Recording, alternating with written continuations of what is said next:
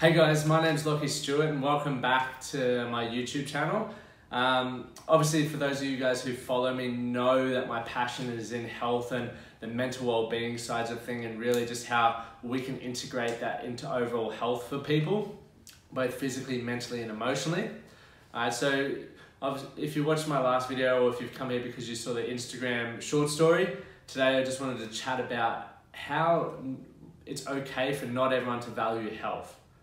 And I think one of the uh, biggest things going on at the moment is people are bashing health down their throat or people's throat or it's being bashed down your own throat.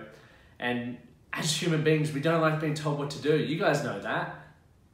Right? So I've been guilty of bashing people down, like being super opinionated to when I'm having conversations with people, telling them how they should live. What it makes us so unique is the fact that we all prioritize different values. I think that's so cool that we do that.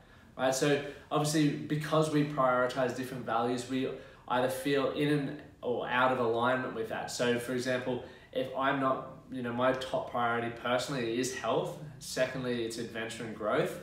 And if I'm not getting a little bit of that in every day, I feel out of alignment. I lose energy. I don't feel as happy as I possibly can. Okay? And then when I feel in alignment, so when I'm focusing on health and adventure and growth, like right now doing this video, I feel pumped. I feel like time just flies. I want to, you know, stay up late, do all this sort of stuff, right? Because I'm in alignment. Now, when you're talking to people who don't value health, they feel out of alignment when you're trying to beat it down their throat or trying to get them to consider it. So what can you do if you really care, which you know the reason why most of us are reaching out to people is because we care about them. It's not to beat it down their throat because face it, we don't like being told what to do. You know that. So what can we do? It's we can help them create awareness and start rethinking their values and beliefs themselves.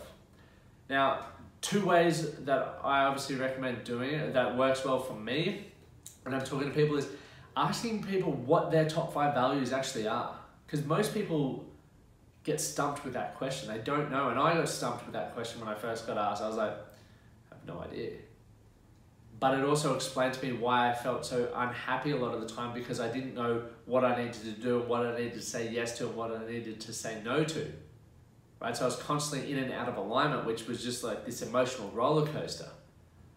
So helping people get clear on that is the first step. Now, once they've got clear on that, secondly, it's to then ask them how does their health positively or negatively impact that value. So, for me, I'll use example growth as a human. So that's physically, mentally, and emotionally growing.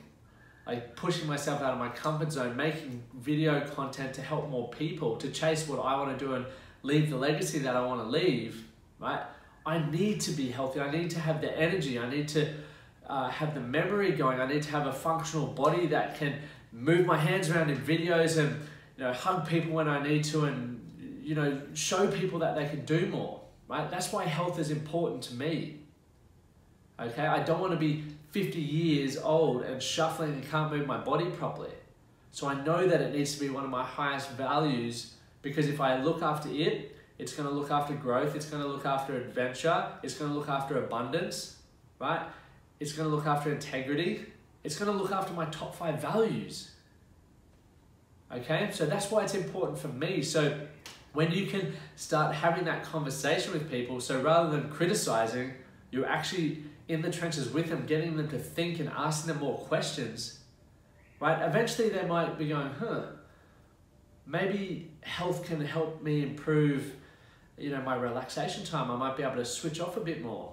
I mightn't have all this fog, brain fog, right? I mightn't have all the aches and pains. It, you know, the list goes on depending on the value, right? Appreciation.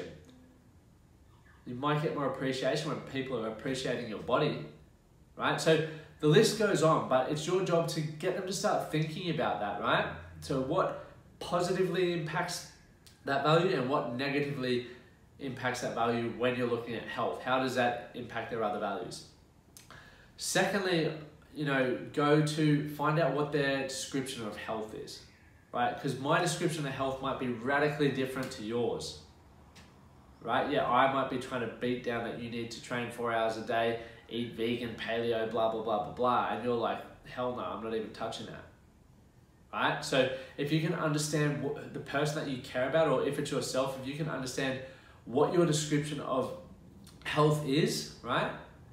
And where it came from. Is it a value that you adopted as a child?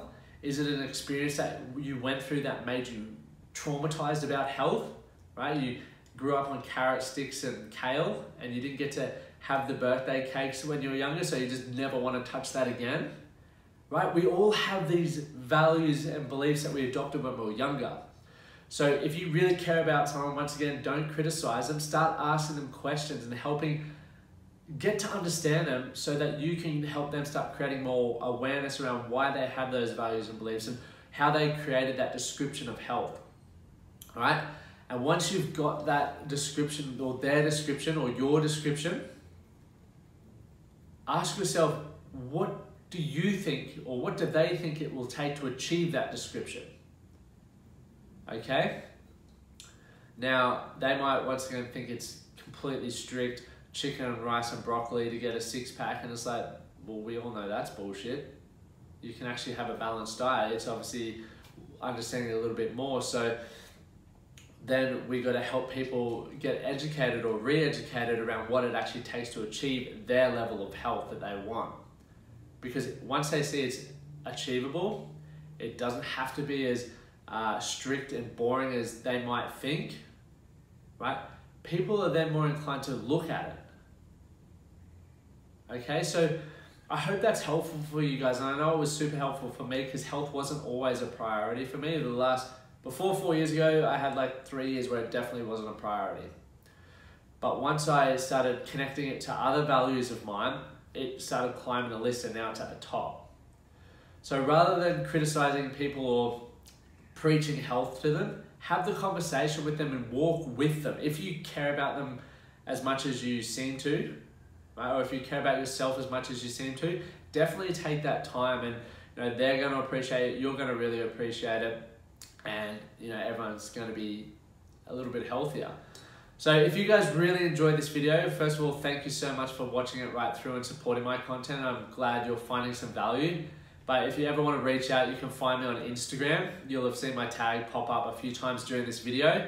Just shoot me a DM, or if you want to drop a comment below, for sure do that and I'll get back to you guys. But thanks so much and stay tuned for the next one.